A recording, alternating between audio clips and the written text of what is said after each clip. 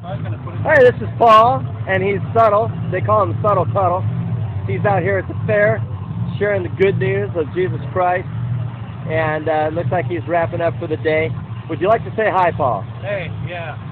Hey. Let's man.